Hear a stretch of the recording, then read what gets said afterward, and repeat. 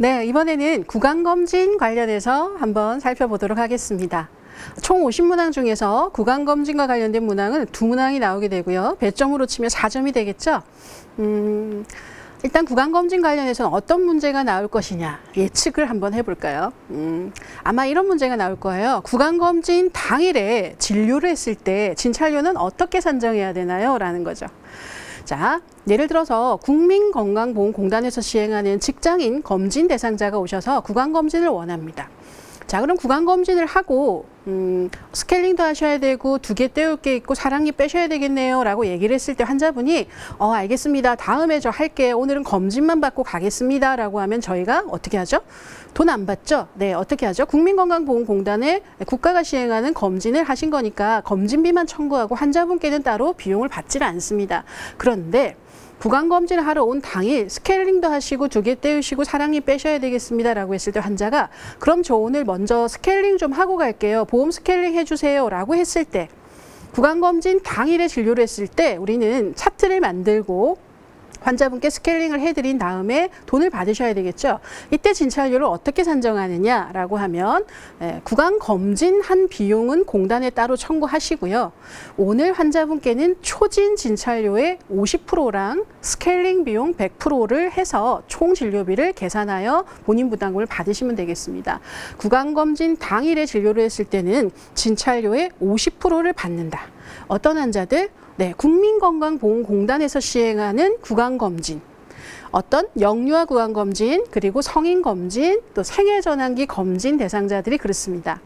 그런데 초등학교랑 계약을 해서 학생들이 구강 검진을 하러 오는 치과 있으시죠? 네, 학교 학생들 구강 검진은 어, 주 시행하는 곳이 다릅니다. 어디냐면 교육부 주관 사업을 해서 교육청에서 예산이 나와서 학교로 지원이 됩니다. 그래서 답이 좀 다르죠. 제가 빨간색으로 표시했죠. 예, 학생이 오늘 와서 학교 구강검진을 받고 그냥 갑니다. 그럼 우리는 어디에다 청구를 하냐면 어, 공단이 아니라 이때는 학교에다가 검진비를 청구하게 되죠. 그런데 오늘 검진한 당일에 유치발치를 예를 들어 하나를 하고 가게 됐다면 우리 병원에 환자가 된 거죠. 그러면 차트를 만들고 이를 뺍니다. 이를 빼고 나와서 본인 부담금을 달라라고 할 때 우리는 어떻게 받아야 되냐. 이때는 초진료 100%에다가 유치발치 비용까지 해서 어, 돈을 받으시면 되겠습니다. 즉 시행처가 어디냐에 따라서 보건복지부 관장 사업으로 공단이 시행하는 구강검진 사업 대상자들은 어, 검진 당일에 진료를 했을 때 초진료의 진찰료의 50%를 내시면 되고요. 학교 구강 검진은 예, 교육부, 교육청 주관 사업이기 때문에 별도의 답이 나와서 초진료 100%에다가 어, 진료 행위료를 같이 받으시면 되겠습니다. 네, 그러면 이번에는 구강검진 당일 날은 환자분이 오늘은 시간이 안 됩니다. 저 예약을 좀 해주세요 라고 해서 추후에 내원하셔서 진료를 했을 때는 어떻게 해야 될까를 한번 살펴보겠습니다. 역시 영유아 구강 검진, 성인 검진, 생애 정란기 검진 대상자들은 공단 시행이기 때문에 답이 똑같고요. 학교 구강 검진 대상자만 지금 답이 다름을 또다시 알 수가 있겠습니다. 자, 어떤 상황이냐. 오늘 예를 들어 1월 5일이라고 가정할게요. 1월 5일 날 어, 성인 직장인 검진 대상자가 또는 생애 전환기 검진 대상자가 오셔서 구강 검진을 받습니다. 자, 그리고 나서 스케일링 하셔야 되겠습니다라고 했을 때 오늘은 제가 시간이 안 되니까 어, 3일 뒤에 어, 예약을 좀 해주세요 라고 오늘은 그냥 가시게 됩니다. 그때 우리는 환자에게 비용을 받질 않죠. 공단으로 구강검진 비용만 바로 청구를 하시면 되겠습니다. 자, 사흘 뒤에 오셔서 스케일링을 하게 됩니다. 자, 이때 차트를 만들고 우리 병원에서의 진료는 처음으로 받으시는 거지만 사흘 전에 우리는 이미 그분의 구강을 검진한 기관이 되기 때문에 재진료 100%로 시작을 하시게 됩니다. 초진이 아니라 재진으로 청구해야 되신다는 거 꼭 기억하셔야 됩니다.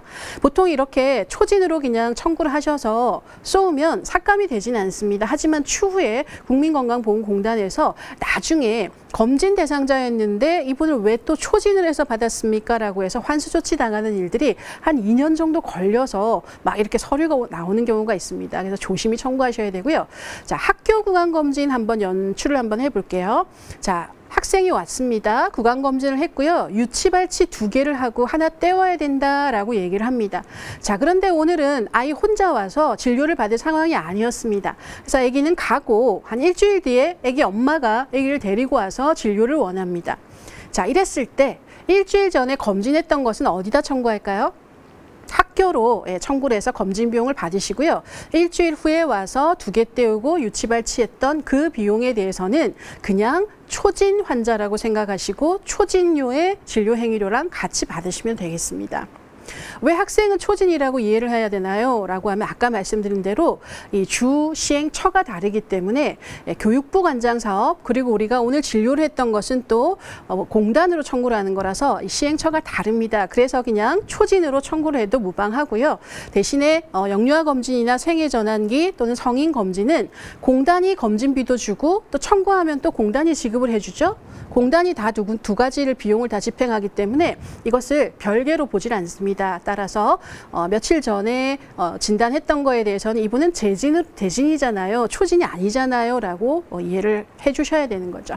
자, 근데 여기서 기간이 언제까지나 우리 치과에서 구강 검진 받으신 분은 영원히 그럼 계속 재진입니까? 그건 아니고요. 30일 기준으로 우리 일반적인 초재진 기준의 기준처럼 30일 이내에 오셨을 때 어, 국가 시행하는 검진 후 30일 이내에 오셨을 때는 재진으로 적용을 해야 된다. 이렇게 이해를 하시면 되겠습니다.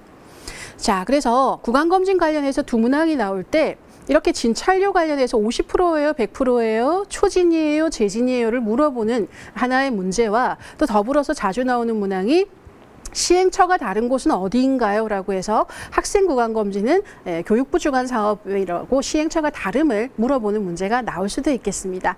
예, 남은 시간 잘 챙겨서 공부하시면 되겠습니다. 문제를 그럼 한번 살펴보면서 자신감을 한 번 더 얻어보시죠. 다음 주 구강 검진에 대한 설명으로 옳지 않은 것은입니다. 성인 구강 검진 당일이죠. 성인 구강 검진 당일 진료 시에는 어떻게 50%만 가능하다. 네, 옳은 이야기죠. 두 번째, 성인 구강 검진하고 30일 이내에 와서 진료를 하게 됐습니다. 구강 검진만 하고 30일 안에 다시 오면 어떻게?